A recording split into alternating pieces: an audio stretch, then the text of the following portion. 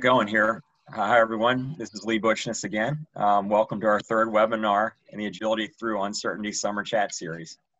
Today, we're going to hear from Holley Schramski. She's an Associate Vice President of the Finance Division at the University of Georgia. Uh, Avaap Director O.C. Anderson will be facilitating the conversation today. Uh, OC is a supply chain management ERP leader with 16 plus years of experience. His areas of expertise include demand planning, supply planning, sales and operations planning, manufacturing, inventory management, and network optimization. OC has also experienced in implementing JD Edwards and Oracle value chain uh, planning. OC's industry experiences include higher education, manufacturing, consumer products, life sciences, and agri-farm. So I'm going to hand it off to OC and let's get started. All right, Lee, thank you. Um, well, welcome everyone to our um, uh, webinar today. Um, first, I would like to introduce um, our speakers. Um, so today we have um, with us Holley Schramski, and as Lee said, she serves as the Associate Vice President of the Finance Division at the University of Georgia. Prior to coming to UGA in 1993, she worked in public accounting. She works closely with her team on administrative systems to enhance and improve UGA business processes. And she also teaches accounting information system courses to undergraduate and graduate students in the J.M. Tull School of Accounting. Also with us today, we have Sean Hill. Sean serves as the Interim Director of Programs and Change Management at the University of Georgia. Prior to joining UGA in 2014, Sean spent more than a decade in the private sector leading various operations teams in a corporate office division. In his current role, he is responsible for business process improvement and change management for both the finance division and the Office of Research.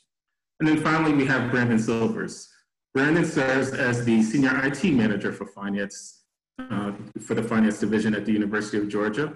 Prior to joining UGA in 2001, Brandon worked in the private sector managing business software development teams. In his current leadership role, he is responsible for the oversight, management, and strategic direction of the Finance Division IT department with an emphasis toward data-driven automation tools for business process improvement. So welcome, welcome Holley, welcome Brandon. Um, we'll go ahead and get started. Um, so Holley, before we started UGA's business intelligence journey, your team was doing a lot of manual data processing and analysis in Excel. What was that like and why did you begin to think something needed to change? Well, good afternoon, OC. Um, let me say that we are in our beginning stages of our BI journey, but with the help of Avaap, uh, we've already developed a number of solutions in a very short time frame, and the more we do, the more things we put on our list that we want to do. So it's very exciting. I should note that UGA was also quite late to the ERP game. In 2016, we started a business transformation project, and by 2019, we were using totally new finance, HR, payroll systems, and all of a sudden we had all of this data we had never dreamed of. So I distinctly recall one afternoon our associate controller, she was working on our financial statements the very first year we were closing out, and she was very frustrated because Excel kept bombing out on her. Uh, well, I knew we were going to get to this point and needing to start to use other tools, but I didn't really expect to get there that, that early.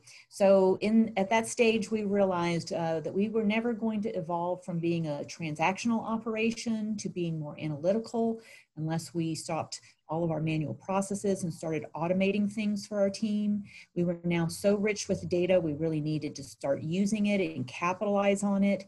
And if we didn't act, we were going to leave our institution and our team members um, in the dust because we would not be effectively managing risk or making better decisions or even optimizing our resources. Awesome. Um, and because of these challenges, UGA decided to invest in Alteryx to help automate their financial spreadsheet analysis processes, which often involve taking files from different places, consolidating, cleansing, and outputting the final cleansed consolidated file to distribute to different parties. Did you feel like there was any pushback to this introduction of a new way of working? So I do recall a lot of blank faces when we first introduced Alteryx. Uh, there were plenty of tools on the market, so lots of tools we could choose from, but I knew of Alteryx through the courses that I teach. So we needed to get started and we decided to start with Alteryx. Uh, once the staff could personally see what Alteryx could do for them, how it was automating their workflows, how it was cleaning their data, then all of those blank looks and questions really started to disappear and they began to see the value in the automation. Um, I would say if you're going to uh, start this journey, do expect some apprehension at the start. I first introduced the senior leadership team to this concept, and after I had them on board, we found a small group of self starters, people who liked to learn new things and who could personally gain from these tools. And we teamed them up with Avaap they identified projects to begin working, and before I knew it, I was hearing them um, in the hallway. They were saying things like, Now that I've automated my bank reconciliation process, I have got three extra days in the month. And as soon as I finish this next workflow, I'll be able to save another X number of hours. So they got very excited about this, um, started doing it on their own. Avaap was there to help them along the way, and it became very rewarding to them. Awesome. Your, your team's adoption of the solutions is a testament to your leadership and being a champion for change. Um, do you think have any advice for university leaders who are facing change, whether it's new software solution or the uncertainty that lies ahead? So I've learned sometimes the hard way uh, how important it is to really understand why change creates concern for other people and to accept the fact that even sometimes the smallest amount of change can really rock someone's world. As Jim Collins puts it, leaders need to begin with the end in mind and make sure you explain to your team what is in it for them and why there is value in the change. Uh, we learned the importance of good change management when we were doing our ERP implementation, and we worked with Avaap, and a lot of us even became Prosci uh, certified in the ADKAR model.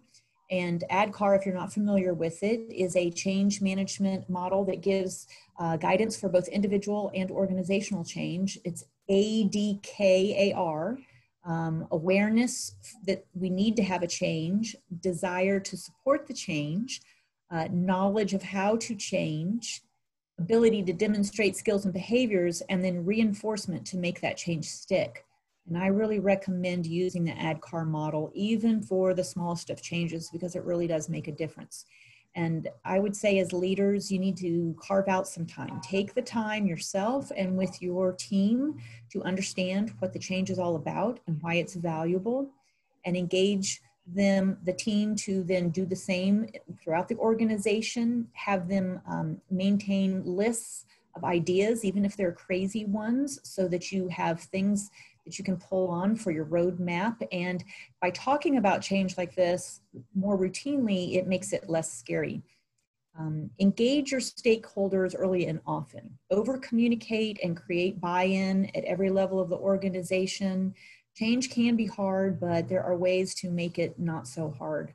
Um, also, create a formal feedback process because people need to be um, heard. They want to be heard as they're going through these change and incorporate a feedback loop as well. Soliciting feedback with no response or no action to that feedback is worse than not soliciting the feedback at all.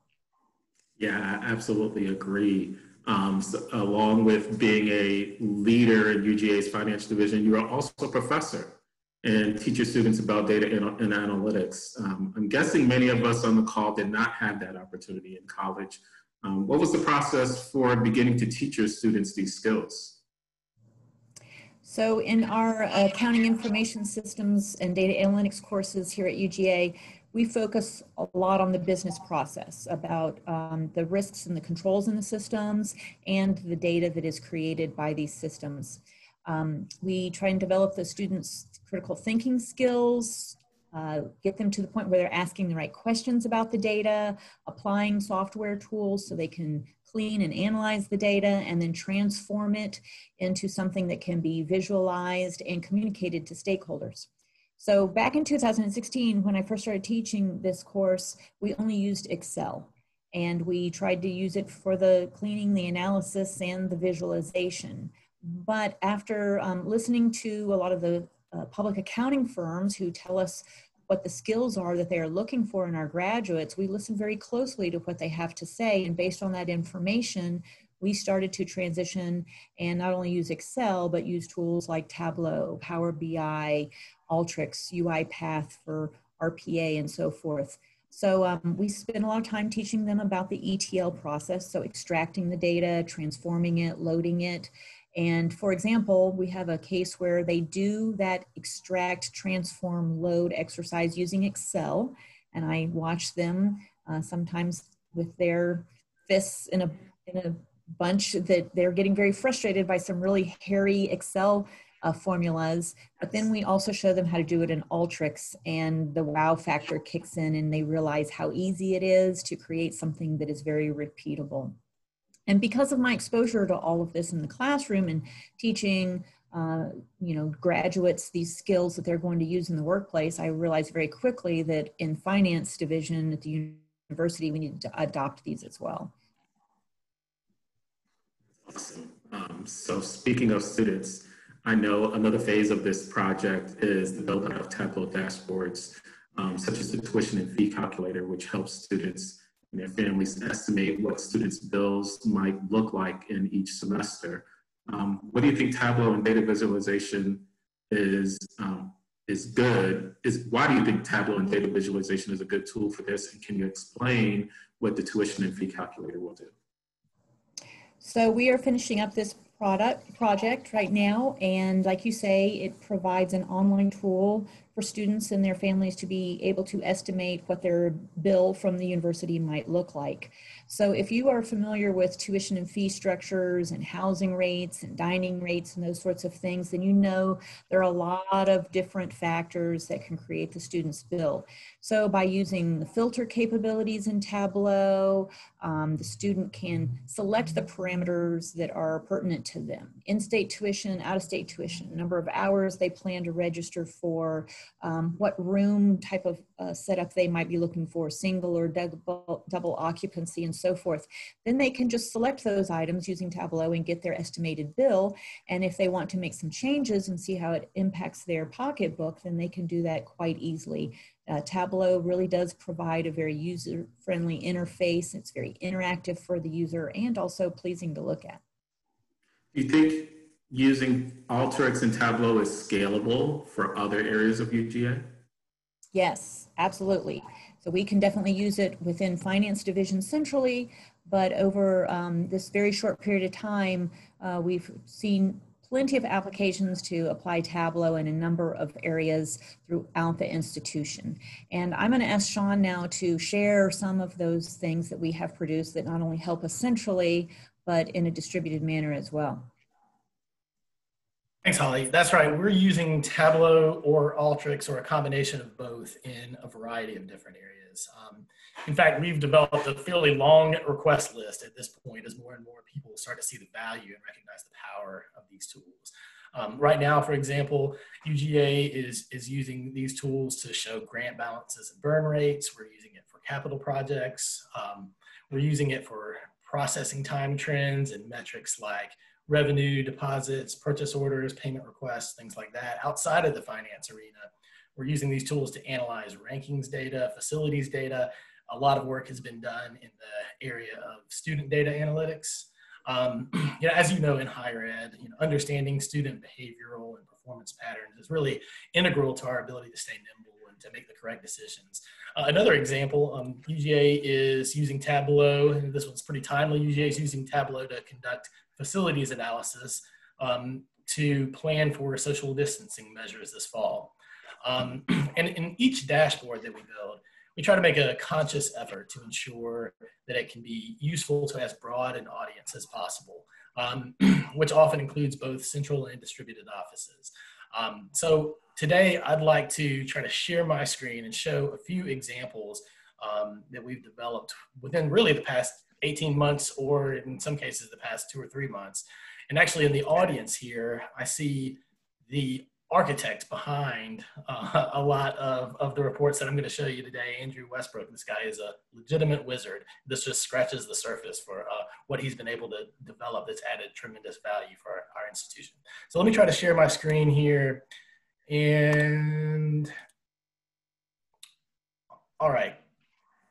Can everybody see that now? Yes, we can. Right, thank you. All right, so the first dashboard here is a, a trend analysis, year over year trend analysis um, dashboard. We have this for uh, so far six different financial metrics. The one I'm displaying here is revenue. Um, so if you look in the top left, you can see year over year trends. So um, total revenue and then the numbers in the green and red show um, how we're trending year to date, quarter to date, or month to date against this point in the last fiscal year you move to the right of that, you'll see a month over month analysis, just current fiscal year versus last fiscal year. Um, bottom left, uh, it's kind of a similar concept, but it's showing the cumulatives over the, uh, the course of the year, so how we're trending that way. Um, and then in the bottom right, you're able to see kind of different fund sources. So we've grouped it together to say, how are these fund sources uh, performing from a revenue standpoint um, year over year? There in the top right, you'll see there are a variety of filters so that people can uh, filter down to various departments or filter by a specific fund source if they want to see it that way, um, and then drill in and see a little bit more detail. Um, so you can see, I think, um, the value that this kind of tool can have um, for anyone from senior leaders to people across the organization and our ability to correctly interpret data and make good decisions based on these data. If I move to the next slide, um, here is one uh, where we're trying to get a better handle on our key performance indicators, um, our KPIs. So this is a processing time for expense reports. Um, we're doing this for a variety of different transaction types. So here, if I just start at the top, it'll show you things like the total number of expense reports we've had, the total number of actions um, that it's taken to get each one of these expense reports paid. And that's important, especially for people like me uh, who care about you know, process um, improvement because we're able to determine how efficient the process is and where the bottlenecks are in the process to really start having the conversations that we need to have to say how can we make this run more effectively or more efficiently? Um, in the next column over is the average time to approve an expense report and how that compares to the institution. So if somebody says i want to see how my department does against the rest of the institution and if it's significantly longer then i can start asking questions like well what could we do differently? What are other people doing differently that we might want to apply in our work area. Um, the next section down is outliers. So if you want, you know, you can see many of them are clustered in that, uh, you know, two to eight day time frame. But then you see some of these outliers on the edge. Someone might want to drill. You can actually click on those little red dots and drill into each individual outlier and say, what are the details behind this? What happened here? What's, you know, some of the complaints you might find. I'm sure those on this call have recognized sometimes the people who speak the loudest don't necessarily represent the majority, but they still end up costing your team a lot of time. So it's important to understand how those edge cases come about because these are going to be people that are dissatisfied with the process and say, this isn't working at all. Whereas you might be able to point to, oh, 95% of them are falling in this time frame, but some of these happened and this is why. Um, below that, it shows the time by workflow step. So, um, you know, if one of these things was submitted, how long did it take each step to approve, how many of them were there um, in each one of those steps, and then there's the ability, again, to filter down by department, that type of thing. If I move on to the next dashboard, this is one of these balanced dashboards I mentioned. We had, uh, this particular example is we wanted to look at grant balances. Um, so we have the ability to see budget, encumbrances, actual spending, and available balance. Uh, we have some data visualization here. So in that donut chart there, you can see the um, that those columns also represented the ability to filter down by different fund types. Um, what I the screenshot I've included at the bottom here, this burn rate was a particularly interesting concept that came directly from faculty feedback. They've said, you know, I really want to see how I'm spending against my project budget. A lot of these faculty projects, as you probably know, are uh, not months long, but year long project. So, you know, we might have a five year project and they want to see how am I spending against that? I want to make sure I'm not spending too quickly and I want to make sure I'm not spending too slowly. So, um, you know, this shows how they're spending against that project timeline. So that's been very useful. Um, finally, the example um, here that I'm showing is a service level dashboard. So we're asking our teams to set service level objectives, identify a few key goals. What are the most important goals? And if we're doing these things well, we know we're most likely doing a good job as a team. Um, and so we define those and uh, we want X percentage of these things, these transactions to be done within Y percent, Y amount of time. Um, so, you know, that's where the arrows are pointing here. We've set this dashboard up so that we can say, I want to see how many, this is particular one is for a ticketing system. So how many tickets are resolved within 120 hours? Um, and it'll show that corresponding percentage. And we made this flexible enough so that we could say, well, I want to know how many are done within 24 hours and see how that percentage changes. Down at the bottom, kind of gives you visualization by the assignment group to say how many of these were done within the service level objective and how many were outside of the service level objective. And then you can drill down further to see the details for those that were outside, for example, to see why that might be. So, you know, as you see these tools start to evolve, you know, you can, I think, probably understand why more and more people want to get in line to say, I can understand how this will add value to our ability to do our business more effectively and more efficiently. So it's been very exciting for us and really a lot of this is in its infancy, so I'm excited to see where it goes from here. All right. Thank you, Sean, for sharing with us uh, those dashboards. Um, Holley, what benefits are you already starting to see with this project?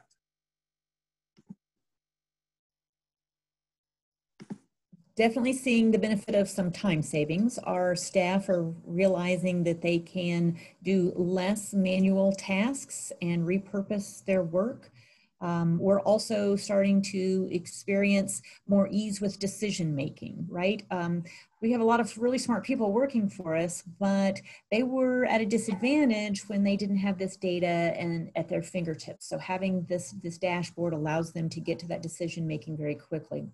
We are also shifting to a more proactive culture. And these dashboards are actually going to allow us to start delegating uh, throughout our organization. So hopefully we will be able to experience more autonomous management several level downs in, in the organization.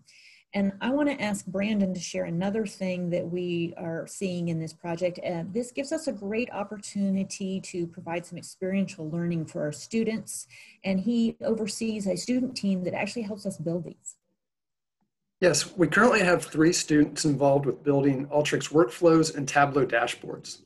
The students have been um, had some experience with these tools through Holley's class, but have been really big self-starters to learn even more. Avaap has helped with some training materials and serves as a great resource to the student team. As our finance leadership identifies projects, their staff does not always have the time or resources to build the solution. So our student team serves as that manpower and allows us to complete more projects.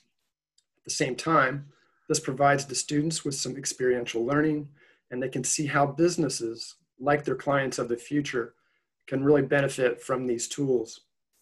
They also gain experience working with functional users and subject matter experts, and uh, also must follow our testing and quality control standards. So they're learning from those requirements as well. All right, thank you, Brandon. It's always exciting to hear the students um, have an opportunity to get involved um, with some of our projects. Um, Holley, our, our summer chat series is about being agile through uncertainty. How has using data and analytics allowed your team to be more agile? Well, certainly because we invested some time in this over the last nine months or so, uh, we are finding ourselves in a position where we can put these things together much more quickly. Um, we are very decentralized here at the University of Georgia, so having self-service tools plays a big role in being effective and efficient. Um, Sean mentioned that we like to design these tools so that we can look at them institutionally, but also provide a solution so that departmentally someone can look at the specifics as it applies to them. And we're um, involving central and distributed users in the design of these so that when we're ready to deliver them, hopefully they have the most immediate value possible. Uh, when we design good self-service tools, it also helps take a load off of the central offices uh, because sometimes it does require a lot of support to help people with this um, data and information along the way. Um, so one quick example that we're getting ready to deploy um, is around travel data. And like many institutions, we're only doing essential travel right now.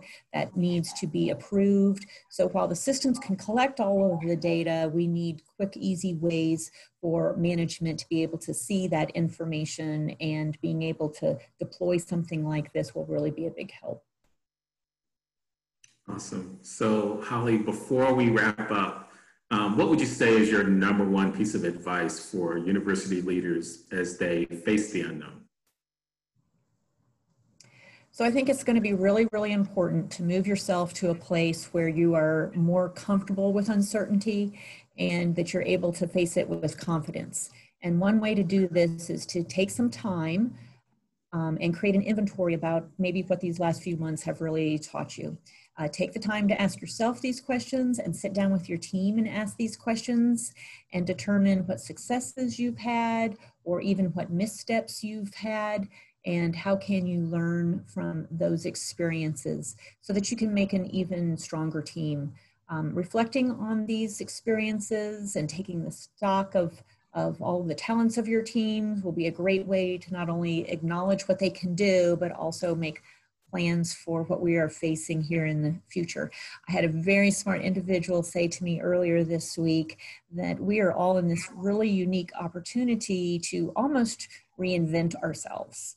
And so mm. taking the time to have that inventory of what we've learned and then going ahead and taking action on it will be really important.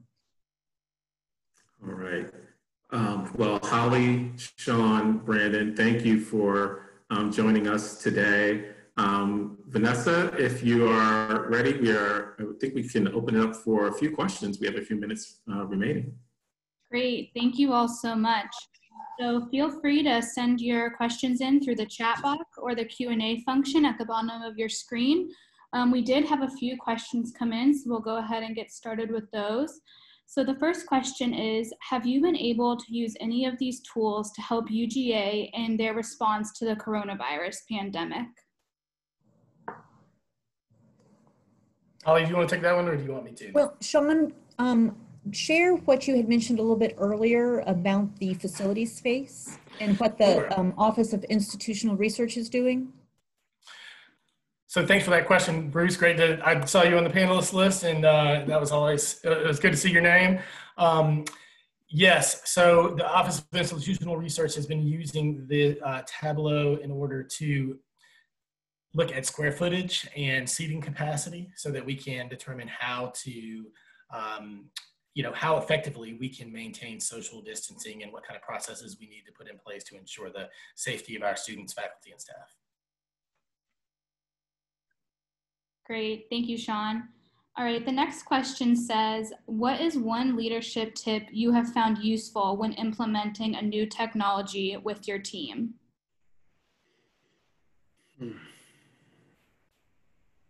So I, am going to go back and give a plug to the ADKAR model. You know, taking a look at that and um, start with what your end result really wants to, to look like. Uh, but being able to describe to the team why making that change is really going to be valuable to them. You know we all as human beings tend to look, look at it very personally what's in it for me. And i've learned sometimes the hard way you know you really have to look at it from their vantage point and get them clued in with you as to the value of the change.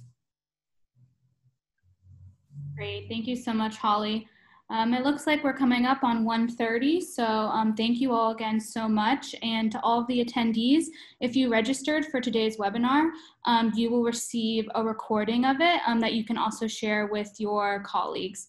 So thank you so much. I don't know if OC, you have anything you wanted to say before we wrap up?